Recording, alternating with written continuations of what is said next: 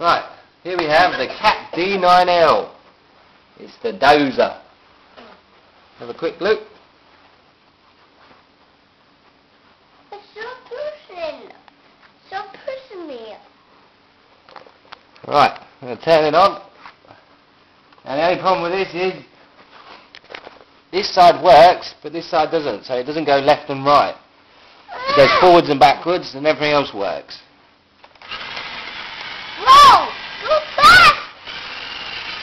Backwards. Forwards.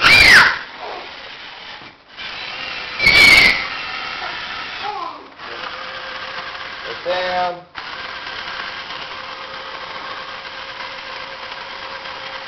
Goes up.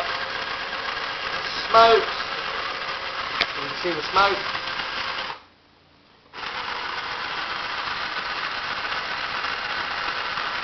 Ah! And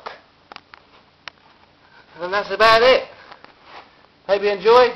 Thank you.